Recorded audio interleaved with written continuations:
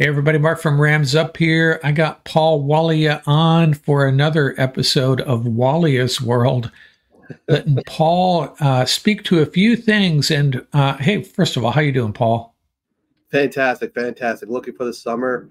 Uh, already hit the beach a couple of times. Had the air show out here on Long Island. Uh, keeping it tight here in the Beast Coast. Yeah, you know, um, we're in our June gloom season here in California, the coast, man. I see the sun on occasion, but waiting waiting for it to warm up. I think we're we may have hit 70 once and uh, hoping to get into the low 70s this week. That's along the coast. It's a little warmer inland, but summer is just kind of teasing us at this point.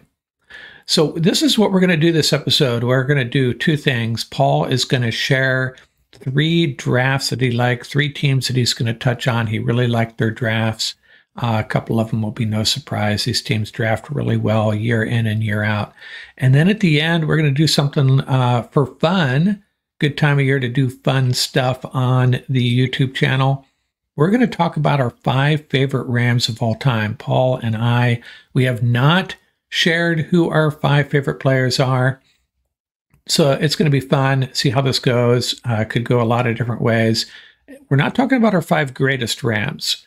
Uh, that would be probably not as entertaining as this is going to be, I think. Our five favorite Rams. And uh, we'll get into that after we get through these drafts, these three drafts we like. So let me go and add our. The first draft that Paul really liked is the Chiefs 2024 draft. And there it is for you. Uh, talk us through this, uh, Paul. What did you like about this draft? So, you know, when you come off a Super Bowl and you get to walk away with the players that the Chiefs walked away with, you have to give them a solid A grade. Uh, you and I had talked about, you know, pulling off that trade for Xavier Worthy uh, with Buffalo of all teams. Uh, you know, uh, that was something really noteworthy but you know that's something they wanted to do. They they wanted to sort of replace uh, their loss of speed at wide receiver with a player that was a true game breaker. Uh, Xavier Worthy is known, as we know, the fastest 40 time in combine history. So uh, whether or not you know his uh, slight of uh, you know that his slight frame is going to play against him in the NFL uh, remains to be seen. But you know he's a competitive player. I think it's a good roll of the dice for the Chiefs. Um, the one of the reasons I loved their draft because if you look at the names after that, Mark, they're going to look familiar. A bunch of Puka power picks and some of our favorite players that we used to mock. My favorite offensive lineman in the draft, Kingsley Suamataia. All right, one of right. my favorites. And we had talked about him at length uh, from BYU. Um, I think he's just going to be a beast at offensive tackle. We had uh, right after him, the tight end that I said was going to be just uh, another beast, uh, Jared Wiley, the kid from TCU, who was tied, I think, with eight uh, touchdowns, which was number one uh, with two other players in college football um, amongst all tight ends. The safety that I think was probably one of the steals of the draft at 133, Jaden Hicks. This kid is an absolute lights out hitter, uh, great ball skills. Um, I think he is going to be an eventual starter in that secondary. Um, at some point, they're going to find, you know, whether it's this season, next season, wherever, they got to get this kid on the field. Um, the center that we talked about, Hunter Nourzad from Penn State, 159, a very talented, intelligent center, the kind of player that winds up sticking on your roster for a decade. Great pickup in round five, mark of all rounds, right? Those late round picks really uh, speak to uh, your the team scouting department and how well uh, they find prospects that fit their system. Uh, Kamal Hadden, great zone player corner. Um, he dropped a little bit because of you know didn't really have a standout season, but I think he's got a lot of potential, particularly in a zone scheme. He has to work on his press skills, but overall, I think this was a great draft. They definitely um, built some depth into their roster with some solid players and players that can contribute right away if they are pressed into action. Got to give the Chiefs an A on this draft.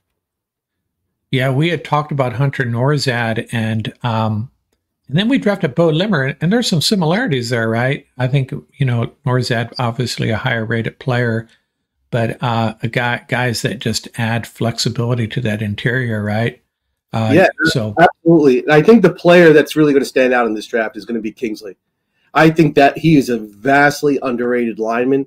Um, I think he might he can even start out early as guard, but I think eventually he'll be a tackle, and he's going to be a very, very solid tackle in the NFL. Okay, good stuff. Let's move on to our the next team that you uh, you're going to give kudos to for their draft, and that's the Chargers, crosstown rivals. Yeah, yeah. I'm, I'm almost like biting my tongue and having to say this, but yeah, I was actually really impressed with the the way they pulled out this draft. I was curious to see which way Harbaugh was going to go. Um, but if you take a look at every pick, very well calculated uh, very purposeful and very high talent threshold. So right off the bat, to be able to get you know the tackle that they wanted. Uh, we all know about the statements that offensive linemen can be offensive weapons. Love that statement. You know I love the trenches. So to walk away with Alt, uh, a rock solid prospect, uh, arguably the, the best tackle in the draft by many people. Um, and then to follow up with your favorite player, Ladd McConkey, right? And you know the Chargers need some help at uh, wide receiver. Listen, they got a franchise quarterback, and any wide receiver help is only going to be a win-win scenario. And this kid is just like I said. You know, forget the scouting reports. He's always open. Turn on any game. Ladd McConkey's always open. He creates separation with crisp routes. He has great hands. He's tough as nails. Um, quiet competitor, team player, loves to block you know, what else can you say? He's a great fit for Harbaugh's uh, team philosophy. And then smart move, going back to his squad, bringing out Junior Colson, the linchpin in the middle of that defense, uh, monster linebacker. Um, you know, knows the system. Um, you know, tough as nails. You know, brings his lunch to uh, work with him every day. Uh, goes all out for four uh, four quarters. Got to love this pick you know, real purposeful uh, team culture pick. And then the play that we had talked about uh, from Alabama. I mean, this kid, this defensive tackle, he was number three in terms of run defense grade uh, for D ends and D tackles, Mark, um, for Bama. So just another great pick, man. Fits their defense, fits their scheme, you know, shuts down the run. And I, I honestly think he's got much more pass rush potential than people are giving him credit for. Um, Cam Hart is the player that stands out for me. To get Cam Hart at round five, when many people had him as high as round three, that's a great value pick. And I really like this player. He's a solid tackler, plays the zone really well. Um, you know, can hang with the speed receivers. Uh, a lot of people knock his lack of speed, but I got to tell you, when you watch him on film, and the kid can play. So I think it's a, a, a great pickup in round five. And the same thing with Still. Kid's got a lot of potential out of University of Maryland. I think that was a solid pick. When you pick up two corners that can compete like that in round five, that's just great value. Uh, round six, you know, what could I say? Kimani Vidal, that was that running back, that rocked up running back. Um, I think he's going to be uh, a great uh, running back in the NFL, solid contributor, and and look at that running back room that San Diego's got uh, got going. They're they're going to run the rock, man. They're going to follow uh, what worked at Michigan. Harbaugh's going to run the ball. I think they got J.K. Dobbins and Gus Edwards, and now you got Vidal. Man, they're going to rotate uh, those three backs, and they're just going to pound on teams. So I really like what they did, and they also picked up that wide receiver from Michigan, uh, Cornelius Johnson, uh, solid role player for uh, the Wolverines. Uh, Harbaugh, um, you know, loves the kid for character as well as performance. Loves to block. Um, good deep deep speed. Solid receiver. Um, so overall, I got to give this team an A. Great job with this draft, getting the players that they wanted that fit their system and their philosophy. Yeah, I saw someone uh, commenting on the Chargers, not necessarily about the draft, but is obviously tied to the draft. And he insinuated that Harbaugh is going to build a defense uh, full of angry, I think he may have used the word vicious, uh, hard hitting defenders that are just going to inflict pain on the opposition. Now, I don't know if these guys, uh, you got four guys on defense here. I don't know if that's uh, if that's how you characterize these guys, but it'll be interesting to see if that that's what Harbaugh does with this defense. I mean, a lot of teams speak to that, but you know, um, I think Harbaugh, according to this commentator, and I don't remember who it was, that's where the Chargers are headed under Harbaugh on the defensive side of the ball, anyways. Well, especially in this league now, if you're if you're gonna win in the NFL in today's game, two things have to happen. You have to be able to get to the passer, right? Because it's a passing league. Then that's probably the best way to play pass defense, um, or if you want to say the first half of playing pass defense.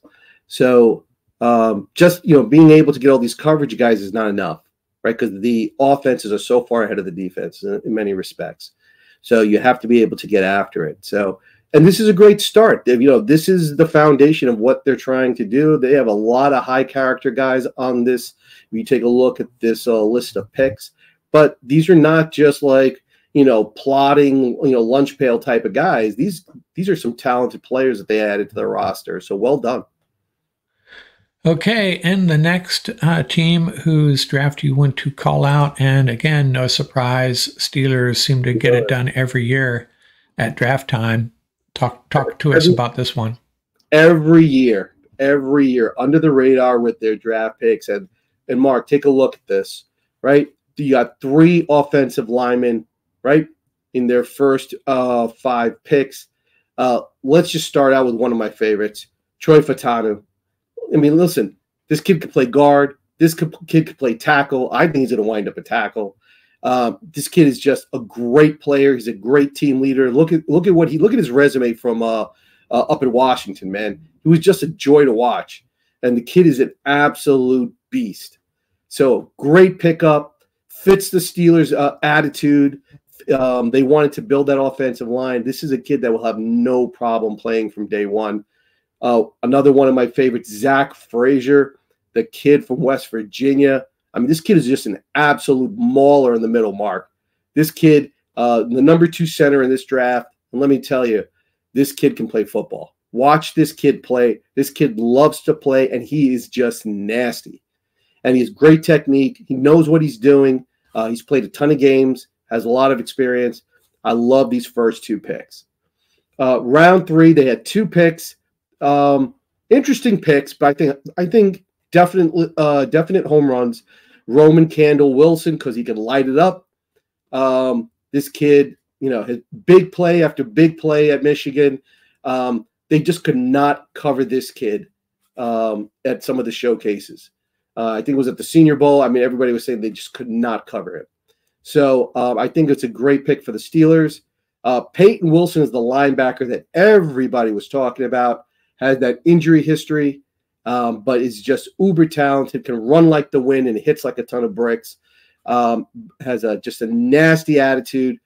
In the Steelers 3 4 scheme, this kid is going to thrive. This is going to be the pick that everybody's going to be talking about. If he can stay healthy and that knee is sound, this is the pick that everybody's going to be talking about. Uh, Mason McCormick, just a rock solid guard, the kind of guard that you that you bring on your team and all of a sudden, before you know it, he's starting. Right in a couple seasons, he's going to be started. So Mason McCormick, one of my favorites, really under the radar draft pick. Uh, love that one. And Logan Lee, just a typical three-four end out of Iowa. Loves to play football, tough as nails. Um, great size, 6'5", 285. Um, people were raving about him at the Shrine Bowl. Uh, just everything about every player that they picked up just screams uh, Steelers. Great draft. This is the way it's done. You draft players that fit your system, and the Steelers know what they're doing every year. This is a great draft. Got to give them an A. Yeah, and Roman Wilson, he um, he made a statement in, during the draft period about how much he loves to block, and that was a reason where I think a lot of Ram fans were thinking he may be a, a target for our team. you know, about that spot, third or fourth round. Roman Wilson, the wide receiver out of Michigan, but he goes to the Steelers instead. And we talked about a lot of these guys in our yeah. lead up to the draft. Uh, Fautanu, Frazier, Wilson, uh, both Wilsons, and I know we talked about Mason McCormick. I feel like South Dakota State. I got to look up the numbers. Maybe I'll add it here at the end.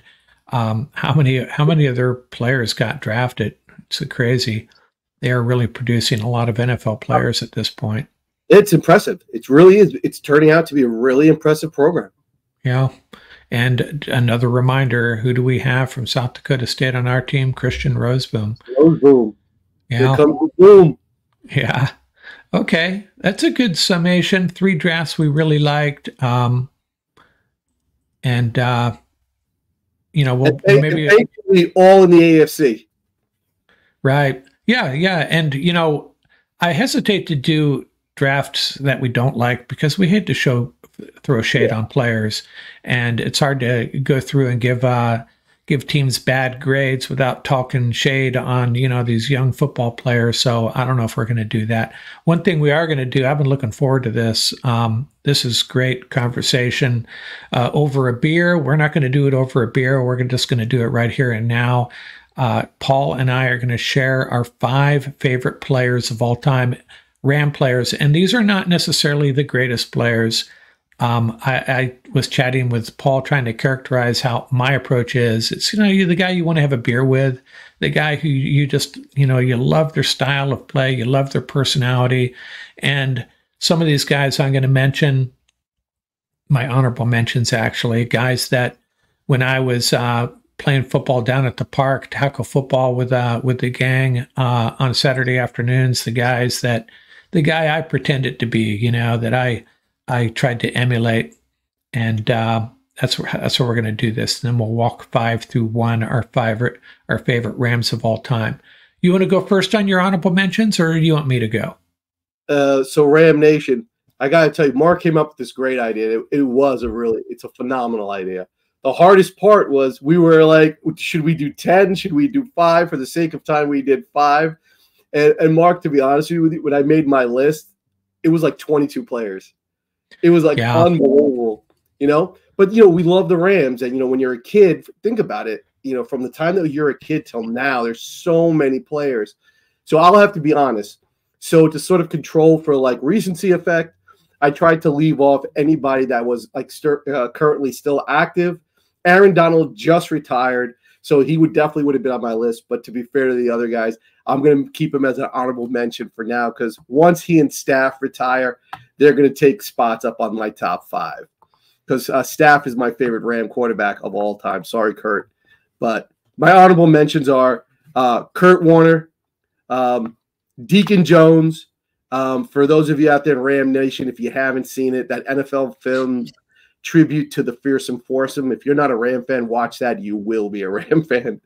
Um, Aaron Donald, um, Fletch, London Fletcher, uh, Matt Stafford, Cooper Kupp, Kevin Greene, Ricky Proehl, Kevin Carter, Wendell Tyler, Dennis Harrah. The list just goes on and on and on. I had so many players on this list, um, and just just goes to show how much you know I love that squad, and and not just you know the superstars, but uh, the role players. I have like a a real special place in my heart for those role players like Ricky Proehl. That catch at Tampa to me is one of the greatest Ram catches of all time. Um, I also had, of course, uh, the Rev uh, Isaac Bruce on here. So um, my honorable mentions, those were my honorable mentions.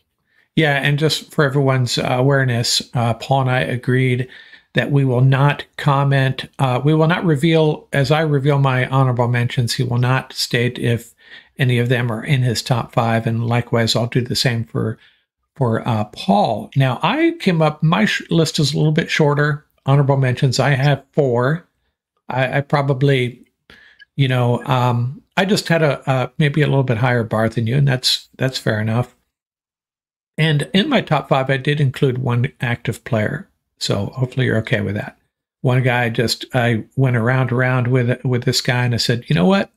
he's one of my top five favorite players, and he's active, so I rolled with it. My honorable mentions, though, uh, my first one is Chris Long, and the oh. reason, and, and I think Chris Long, I've actually liked him more since he left the Rams and since he retired. He is so intelligent and he's so active in positive ways. And you know, uh, I if, if he if I didn't, I feel like I know him very well already. And a lot of these guys I'm going to talk about later are guys I, I'd like to have a beer with.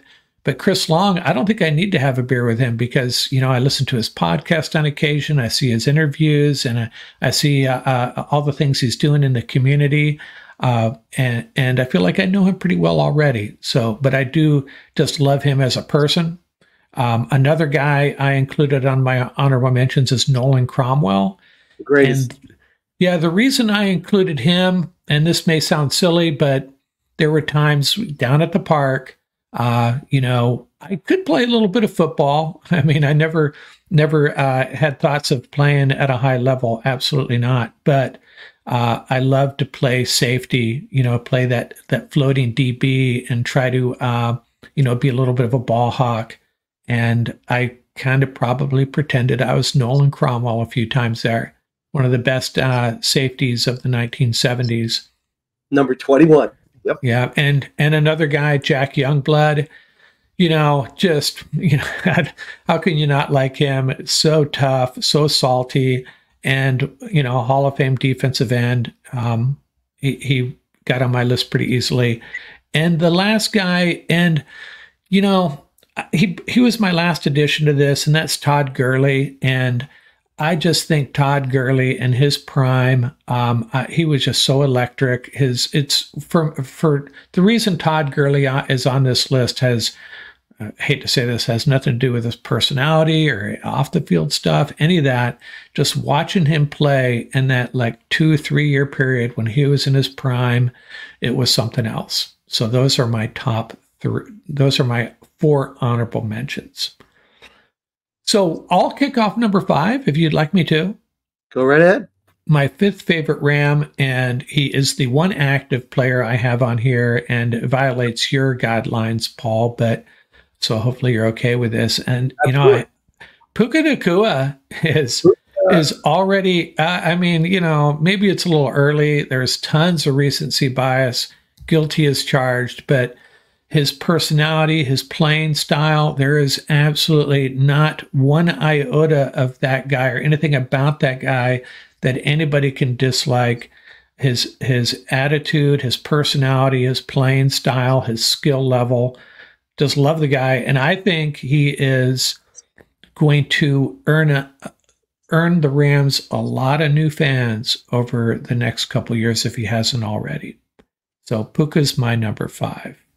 Uh, how can you argue with that? That's a great pick. Uh, my nephew is only uh, five. Uh, no, no, he just turned six. So, uh, and he loves Puka Nacua. He just absolutely he wants the the Puka jersey already. So that's just a great pick. I mean, he's just uh, he's the kind of player that just can become the face of a franchise overnight. Man, he's just great pick. Absolutely. Yeah, I think I think he's already a type uh, a player that you know if if you walked up to a random football fan in um, Minnesota and you know you could name off twenty Rams and they'd be like, huh, who's that? Uh, they're going to know Puka. You know, they're going to know Cooper Kupp and Matthew Stafford, but they're, they're everybody everybody already knows about Puka, so that's a good thing. So who's your number five? Yeah, so I went back to like you gave me like uh a, a great criterion. Like who's the who's the guy that you would want to like sit down and chat with? And I said, who's the guy I would want as a neighbor? Like a guy next door we could sit down and just hang out at the barbecue and have uh, become friends.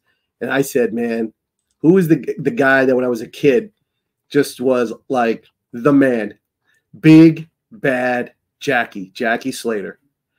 I picked Jackie Slater as my number five, man. He's one of my favorites all time. Um, he went to Jackson State, and this is one of the reasons I really, really loved him was that he he was recruited to Jackson State by Walter Payton. Walter Payton, he blocked for Walter Payton, and then came to the NFL and eventually wound up uh, blocking for Eric Dickerson. You talk about, I don't think that's just coincidence, man. So um, he was just one of the greatest because uh, a lot of the Ram uh, greats never really finished their careers with the Rams. But to have a player that played 20 seasons for the Rams um, and holds the record, he's the only player in NFL history to play not just with the same team, but represent three different cities LA, Anaheim, and St. Louis. So he still holds the Rams record, 259 games. Um, he was part of that phenomenal offensive line. You and I were talking about Kent Hill, Dennis Harrah, Irv Pankey, Doug Smith. And, you know, they paved the way for Dickerson, rightfully so. He was uh, Dickerson's presenter at the Hall of Fame presentation in 1999. I mean, just a model of consistency. Um, but I will say this just a model of class and just, you know, everything that the Rams embody. But he was also the guy that started the brawl against the Jets when Mark Gastineau did the sack dance. So I want to just throw that out there for uh, Ram Nation. If you haven't seen that, you got to watch that. Mark Gastineau was doing his sack dance after sacking the Rams quarterback, and Big Bad Jackie went after him, started a bench clearing brawl. It was awesome. Yeah, I was when I was doing my top uh, 50 Rams of all time. I was looking at, um, you know, try to collect a little bit of data on everybody. I, obviously, Jackie Slater is listed there. I, I, forget where I had him, and I was I was looking at his uh, beginning and ending career dates, and I was like, okay, 10 years ago. Wait a second, that's 20 years. Yeah. 20, 20 years at offensive line for the Rams, and high character guy, uh, all pro performer. Um, and you know a ram for life. So that's a solid pick. And and you stole uh, the other thing I was going to mention that fight. And uh, I think Jackie's point was, are, are you kidding me? I shut you down for 74 snaps or whatever it was, and yeah. and you win one snap, and you're going to do a dance. Not, not happening. So that was uh, not on his watch. Yeah, right. Okay, I'll let you go first this time. Who's your number four? Uh, number four, man. Since I was a kid, so um, uh, I've been really lucky the to be able to watch three magical seasons for the Rams. The 99 season, obviously the most recent Super Bowl victory as well.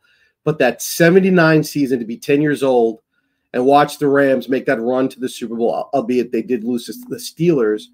But it was uh, Ram Nation. That was just a phenomenal season all around. One of the players that uh, one of my honorable mentions that I didn't shout out was uh, Vincent Anthony Ferragamo, the quarterback that took over uh, late in that season, that magical season. Um, I picked Jack Youngblood, the captain. Jack Youngblood is my number four. He played his entire career with the Rams. Uh, he holds a franchise record for, uh, for playoff starts, most consecutive games played, 201. He was one of the true NFL Ironmen at the time he played D end at about 250 pounds, 245. Um, he's only missed one game since his junior year of college to his final year in the NFL, 1969 through 1984.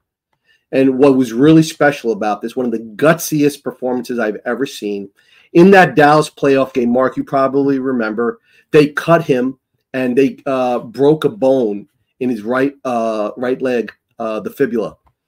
And I remember them talking about this after the game. He argued with the trainer and the team doctor. He said, "Tape it up. I, I, I can go back out there." Ram Nation. He showed up for the next game against Tampa Bay and played the entire game, nine nothing. He played and he played in the Super Bowl. So uh, he was the defensive captain for the Rams, um, and we used to call him the captain, the cap. Uh, he played. Uh, he also they used to call him the John Wayne of football because he was so right. tough. He had 151 and a half sacks, sixth most in NFL history. He went to the Hall of Fame, obviously, in 2001. He was a defensive captain for the Rams, Ram Nation, 1977 to 1984. His number is retired. He's in the College Football Hall of Fame. He's also in the University of Florida Hall of Fame. Um, just watching this kid as a uh, watching this uh, this guy as a 10 year old man, model of character, leadership, and dedication. And Mark, you know, I think is really interesting. In 1999, when the Rams won the Super Bowl, their dominant defensive lineman was also a Florida Gator, Kevin Carter. Right. Yeah. And so, um, you know, he was paired with uh, Fred Dryer there for a while. Yeah. Uh, two of the best bookend uh, defensive ends in the history of the National Football League, I think. And, you know, if, if you were to close your eyes and imagine what the perfect hard ass NFL defensive lineman would look like, uh, you'd probably picture Jack Youngblood. That guy, I, I think I have a, a photo here somewhere of him with there's blood on his jersey, uh, sweat, and just man, just a guy you do not want to tangle with. Yeah, he's a great one, and he was on my honorable mention, so we were kind of on the same page there with Jack Youngblood. There's a great there's a great little uh, mini film on him called Heart of a Champion that Ram Nation you have to watch. It's it's brief, it's only a couple of minutes, but it just just basically summarizes everything we're talking about there and just these wonderful visual images. There's one of him like covered in mud. Remember that iconic photo of him covered yeah. in mud with the right. 85? Oh man, just awesome. Yeah, right. Okay, my number four is AD, Aaron Donald. And you know, it it's just with Aaron, it's just about it, it it's just so great to have, in my opinion, the greatest defensive player in the history of the National Football League, played his entire career with the Rams. And, you know, there's still some naysayers out there about him, uh, and it just drives me crazy.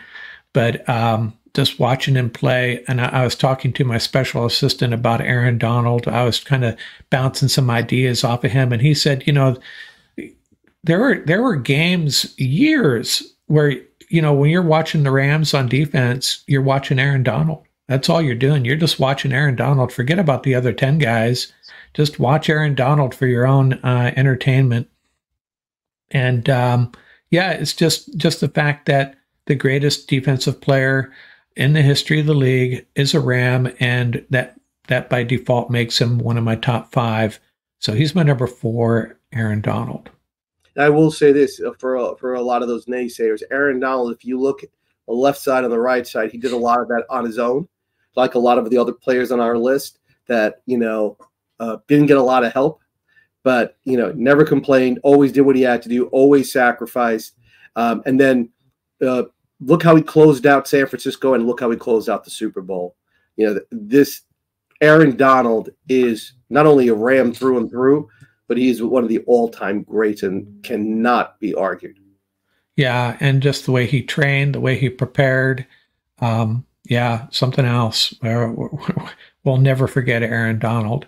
Okay, I'll go first with my number three. And my number three, I mean, I just love Isaac Bruce. I, I just love him to death. And, you know, he was uh, one of the last uh, LA Rams, went to St. Louis, and – just so consistent and such a pleasant guy, team guy, 100% team guy. I, I talked, I've talked about this before.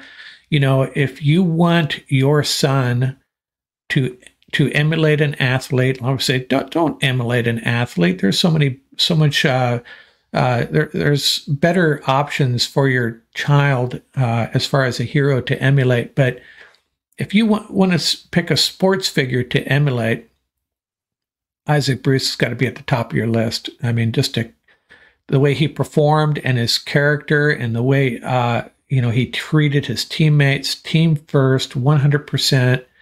And uh, yeah, I just love the guy. I, I I will say that I dropped him from number two to number three. My number two bumped him. You know, I, I shouldn't bring it up, but I will real quickly. I wasn't thrilled with this Hall of Fame speech. I was a little disappointed in that, where he started calling out some of the uh, the scouts, but still, that was that was his one uh, low moment in my mind. But still, man, I love Isaac Bruce, and uh, I think I, I think I still have his jersey around here somewhere. I haven't worn it in a while. He's the my number assassin, Isaac. Bruce. Yeah, I, I never forget that story where I don't know if you remember this or if you've heard this, where um, in Torry Holt's rookie year, he cost Isaac Bruce a touchdown because he was uh, illegal motion or something, and he and he uh, and then on the next play, Torry Holt scored a touchdown, and he went up and apologized to Isaac Bruce, and Isaac Bruce looked at him like, "Are you crazy? I, I don't care who scored the touchdown. We got we got the six points. That's all that matters." Yeah, and, and that, that's the type of guy he was. And you know, it's it, this segment is so phenomenal, Ram Nation. And we really hope that when it's all said and done, you share your top five, not based on stats or anything, but just like on memories like what we're sharing. And I remember that Super Bowl when that when Kurt Warner threw that bomb, and right. Isaac ran under it. And it, I remember all of us just jumping off the sofa. We were like, "Yeah!" And it's just like that memory will never fade, man. That that number eighty is definitely iconic. Yeah, um, yeah, that was that's obviously one of the, you know, if you're going to list top five plays in Rams history, that's going to be up there. It's got to yeah. be up there. Yeah. Um, okay, so who's your number three? So I was like, you know, this one player, man, I really respect for multiple reasons. Number one, in the dark days when, when the Rams weren't really very good, this guy just managed to perform. But he's also one of those guys that, like you were saying, I'd pick up the phone and say, "Come on, bring over the kids. We're gonna have a barbecue, right?" And uh, I went with the beast, Steven Jackson, right? Um, one of the most underappreciated, underrated, underrated running backs of all time. Doesn't matter the team. Um, he was with the Rams from 2004 to 2012. He never played in a playoff game as a starter. Can you imagine that? Unbelievable. Uh, all Pro 2006 and 09. Um, he's the all time leading rusher for the Rams, also for rushing attempts. But what I think is really, really impressive, as bad as the Rams were, eight seasons in a row, he went over a thousand rushing yards, Mark. That's just unbelievable. I mean, and we've talked about it. The the video footage of him carrying guys five, six yards downfield is just unbelievable. Never complained, just showed up and just you know the human battering ram as we used to call him. Uh, and that one year um, where he led the NFL 23 34 yards from scrimmage. Unbelievable. 90 passes he caught and he rushed for 1,528 yards. It's just unbelievable. But what I thought I really loved about this guy, Mark, he fumbled only 23 times on 2,396 rushing attempts. That's unbelievable. Less than 1% of his offensive touches did he actually fumble. And his last two seasons, he didn't fumble at all. So unbelievable. Um, grand total of 13,462 yards with the Rams. And I said this before the Rams got to find a way. If they win another Super Bowl, they got to make sure this guy gets a ring. Maybe have him come out of retirement, give him one hand up and take a knee. Do something, man, because this guy is the ultimate warrior. What he did for the franchise, um, he kept them relevant. And I, I will tell you this one. Uh, it was right around the time of fantasy football was really, really prevalent. I used to always draft Steven Jackson. But what was really, really great uh, when my son used to play Madden, they had these. Um, uh, there was like this uh, video segment where they showed all the top players would come out and do like these 30 second snippets of their runouts. And my daughter was like five and she went to kindergarten. She said, My favorite player is Steven Jackson, right? Because she saw the video when my son would play Madden and she just absolutely loved it. So uh, Steven Jackson has a special place, man. This is what it's all about, man. Players like Steven Jackson, sacrifice, yeah. Yeah, and it's hard to argue against uh, SJ39, and and I could I could talk an hour about him and what he meant to this franchise, and uh, my one of my favorites as well. And it's hard to say anything. What can you say bad about Steven Jackson? I mean, right. he was probably the biggest nightmare, the worst nightmare a defensive back could have in that era. Uh, Steven Jackson rolling down the field at you. Uh, great receiver, great running back, obviously running the ball. Uh, super high character. And what drives me crazy about Steven Jackson, and you know, we all, us Ram, Rams Nation, needs to speak out on his behalf more because he belongs in the Hall of Fame. It's not even uh, uh, even probably even more so than some of the guys, other guys on, on the waiting list. And if he was on a uh, a more of a marquee franchise, or if the Rams had made a couple playoff runs, there'd be no doubt. And and it and I I'm so I feel so strongly that you know whether your team got to the Super Bowl, won playoff games, or whatever. It, I mean, it matters a little bit as far as the Hall of Fame's regarded, but you got to think beyond that. You got to look at the big picture and look at some of these players. And there's probably players in other teams that get overlooked as well that just had stellar careers and, and despite the fact that they're you know they're the guys around them, the guys around them weren't really that good. And uh, Steven Jackson's a perfect example of that, but the best running back of his era, in my opinion. And uh, yeah, I love that guy too. And I agree with you. And I think that's something like the Rams organization has to be more vocal about, about his being his contributions being acknowledged and him being part of the a more uh, active, uh, I guess, if you want to say, involvement with the organization. Because uh, I think that's important. And I think it's important to the to the young Ram fans to know that you know these these are the players that we're talking about because we got to see them. You know, right. you know, it's one thing to to learn about the legends, but it's one thing to see them play. So you could really speak to their contribution. So I agree with you, one hundred percent. Okay, number two, I'll go first this time, and this is the guy that you know is kind of struggling between Isaac Bruce and my number two, Torry Holt, and Torry Holt's kind of the same deal as Isaac Bruce, you know, a high character, just a team guy. Man, the Rams have such a great history of of wide receivers that were not knuckleheads. yeah. And, and, that, and that tradition continues. But uh, I think Torry Holt leaps to the front, uh, almost to the top, because, you know, that question about who would you love to have a beer with? Man, I'd love to have a, a beer or a six pack with Torry Holt or, or play around a golf with him. He's just he's got a great personality.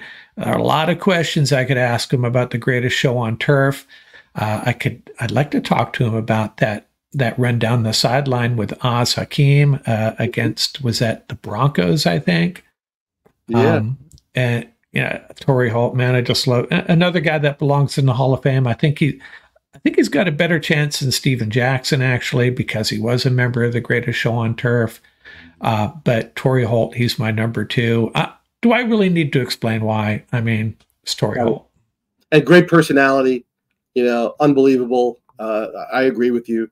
Um, that duo of Bruce and Holt, like you said, I mean, I mean, and you then you factor in guys like Az Hakim, Ricky Proehl, man, it's just unbelievable. That's how you put together a wide receiver room.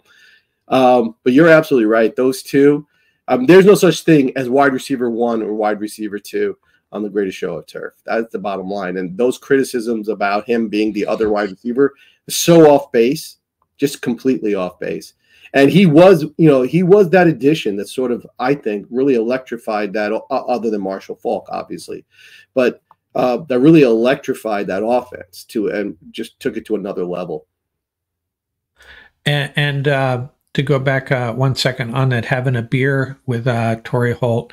Uh, could tell you a quick story. My um, my personal assistant was in a bar here uh, in North County, San Diego.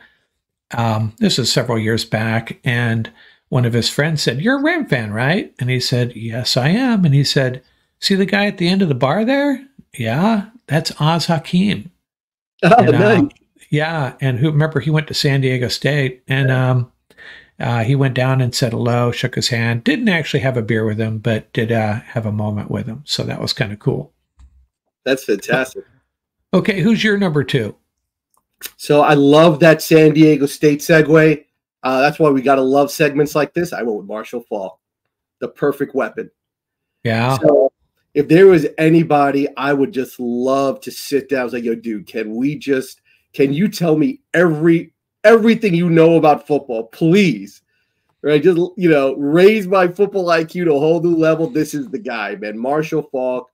Um, what I love about Marshall Faulk, man, I just love his demeanor, just his love of the game. Just, just quietly, he just gets it done. Doesn't talk trash, man. He just leaves it all out on the field. Um, and I really believe the what he brought to the Rams, not just in stats and performance, but in like attitude. That you know, the bottom line being, you know, get it done on the field and win. Man, think about what think about what they had. They have three future Hall of Famers: Kurt Warner, Orlando Pace, and Isaac Bruce, right? On that team when they won the Super Bowl, right? So um, I think he was um, the driving force be, behind uh, the greatest show on turf. He was just unstoppable, in my opinion. The greatest uh, two way threat at that time period and arguably ever. Um, four straight 1,300 plus rushing yards and 700 plus ru- uh, receiving yard seasons from 1998 to 2001. No one's ever going to match that record, Mark. No one. Yeah, and what'd be great about talking to him is, is he had such a keen understanding of all facets of the offense. You know, he really got it. And if you want to, you know, make an argument for how great a running back he is, just go put on the tape of that one run against the Browns. You know, oh. that was uh that was Gale Sayerish, if I can put it that way. It, it, was pretty it was pretty impressive. Yeah, Marshall Faulk, and uh, it, you know he was it's such a perfect storm for the Rams. You know they uh, they trade for Marshall Faulk, they draft Torry Holt. Kurt Warner walks up to Mike Martz and says, "Oh, I'm. I, I, let me introduce myself. I'm your backup quarterback." And uh, and Mike Martz being there as well. And speaking of Mike Martz, uh, again, when I in prepping for this with my special assistant, um, I'd love to have a beer with that guy. You know, that would be that would be something else. But yeah, Marshall Faulk. Um, obviously, the, I probably should have had him on my honorable mention, but I did not. And uh, my son was uh, five or six, uh, yeah, about five or six when um, the Rams won the Super Bowl that year. And you talk about, and he loved Marshall Faulk. That was his favorite player. And to watch those games, and it was just it was just special because it was like yeah. every game. And just to show you, 99 games with the Rams, Mark, 85 touchdowns. Crazy. That's bananas. That is bananas. 11,000 yards on 1,900 touches with the Rams. Um, unbelievable. And a lot of people don't know this. Most two point conversions in NFL history. oh, really? No, I did not know that. Marshall Faulk, the only player in NFL history to reach 12,000 rushing yards and 6,000 receiving yards. Uh, yeah, he had it. He he had it all, and you know, don't overlook his his intelligence and his understanding of the offense. Um, he got it. And that's what Mike Martz said. Mike Martz said on any given play, he could tell you what every offensive player is supposed to be doing. That's how intelligent he was when it came to football. He could tell you what every player on the field offensively is supposed to be doing on any given play. Now, if, I don't know if you listened to our most recent episode, Scott Richmond shared that uh, the Rams scouting uh, department said Puka Nacua had that same ability um, at BYU when they were talking to him uh, coming uh, prior to the draft. Uh, he could tell you what everybody was doing on that offense. So, yeah, Marshall Faulk, he's your. He's my number two. By the way, if Ram Nation, Mark, and if you haven't seen it, you have to see the short on uh, Puka, um, uh, Puka Nacua um, doing Sean McVay. His impersonation oh, of yeah. Sean McVay is so spot on. It is absolutely perfect. You have to. You have. Oh, to I have not seen that. I got to check that out. Absolutely, Puka nails, baby. Puka nails. Let me go first on the number one because it is a guy you have already mentioned, okay. um, and you you know who my favorite Ram all time is. You already know the answer to that, don't you? It's SJ39. that guy. I mean, like uh, he was just he was the Rams for six, seven years. They really had so little else to be excited about. And then you'd watch these games where he would just take over. And a lot of times it didn't end well for the Rams, but it certainly wasn't his fault. And I, I and I, and I still, you know, he's still uh, somewhat present in the media, uh, has his own podcast, I believe, and just a great guy, you know, and another guy I'd love to have a beer with, I'd love to hang out with. And like you already said, have him over with the family for a barbecue. And uh, man, he, he's, he is uh, without a question my favorite Ram of all time. Maybe we need to get together in, uh, in Cali and uh, invite everybody over, including Ram Nation, and we just have a, a giant sort of Ram cookout and just talk yeah. about players. And I've had I've had episodes and YouTube shorts I think dedicated to him, and I've and I've pinged them on those, and uh, never got a response though. So maybe one day it'll happen. Okay, so who is your number one? I have no idea who who it might be. Yeah, I had no idea yet. You had the beast at number one. That's awesome. Great minds think alike, man. But um, I had to go with I had to go with Eric the Great, man, Eric Dickerson. So um, I remember I w- when he got drafted, uh, I was Ram Nation. Yeah, I was starting high school. I was a freshman in high school. Right, I was uh, just about to uh, leave eighth grade, and um, he was just man. It was just awesome. I still think, in my opinion, that red, white, and blue number 19 SMU jersey with Dickerson is the greatest jersey I have ever seen. Just the aesthetics of the red, white, and blue, the Pony Express logo, man. And I remember saying to myself, just like we said with Jared Verse, man, was, there's no way he's going to get drafted. And then the Rams got him, and I was just like head over heels, man. I was like, yes. And then just to watch that rookie season and and Ram Nation, you don't understand. I live out here in the Beast Coast. My team's out on the West Coast. It wasn't like today, man, where you got satellite and everything. You had to circle certain games. You had to hope there was a Monday night football game. We had the game against the Jets or the Giants that was the only time, or it was one of those games where uh, you know you had two games of the week that you could watch. So it was really hard to actually see your team. But because Eric was so phenomenal, man, he was always on TV. They were always showing his clips, and and I don't think there's anything more iconic for the Rams than watching 29 break through the line of scrimmage and then just standing straight up, that running style, arms churning, the goggles, man, it was just something to see. Uh, I mean, and one of my greatest, greatest uh, number 29 memories is when Dallas was talking trash um, in that divisional round. They called him soft. Ram Nation, they called him soft all week. They were talking trash and chirping. And he came out, and it's still the record. And he knocked out 248 rushing yards, and they beat Dallas 20 to nothing.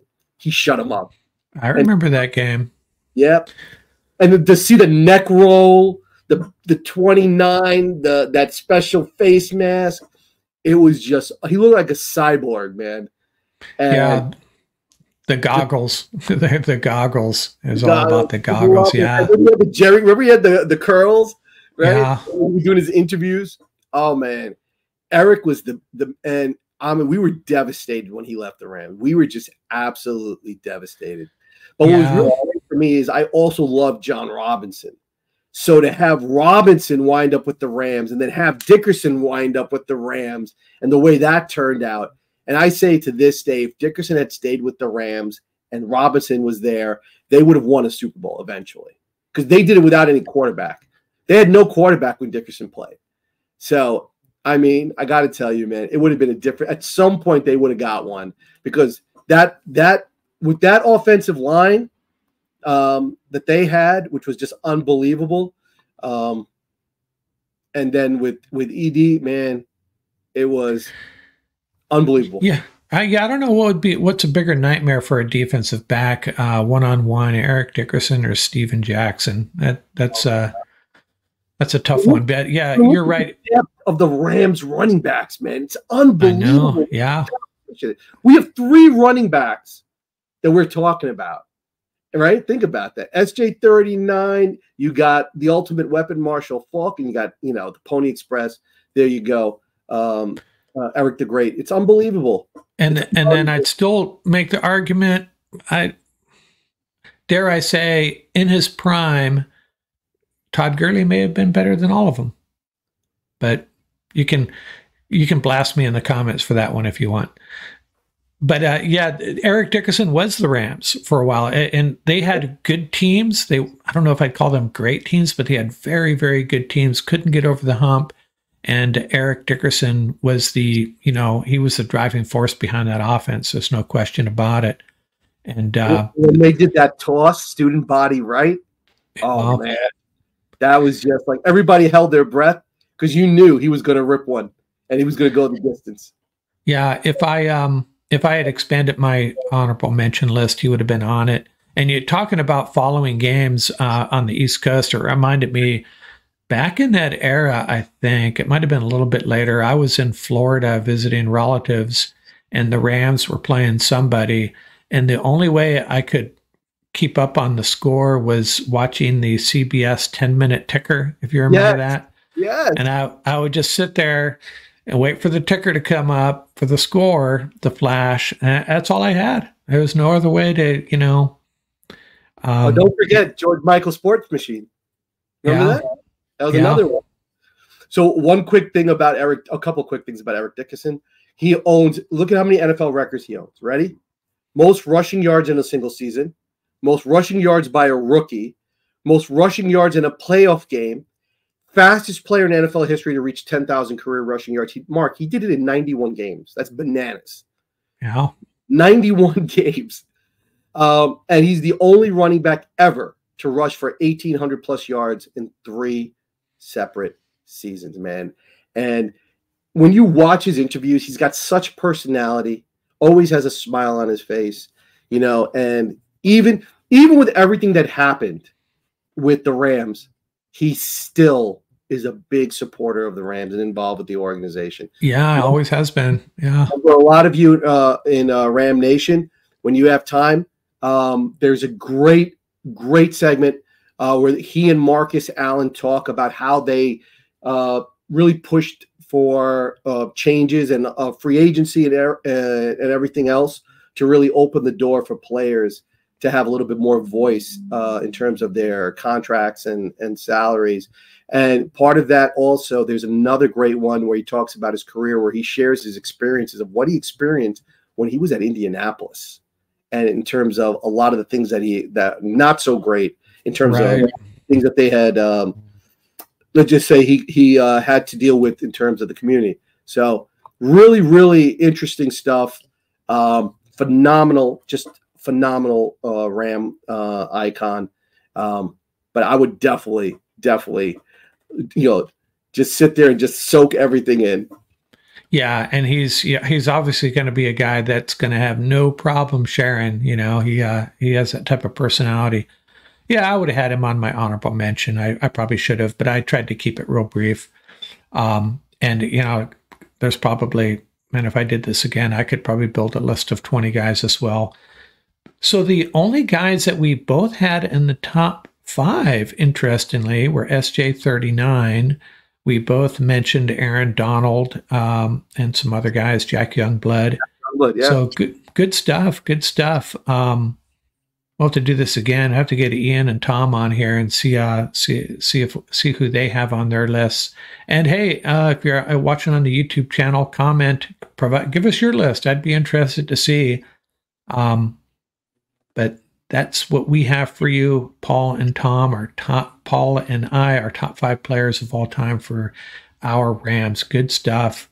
Pretty good list. Fun list. Yeah, absolutely. And you know, that's that's the the beauty you know when you get together and uh you know, you guys love the same team and you hear about the different players like Wendell Tyler. I could talk about Wendell Tyler when I was a kid.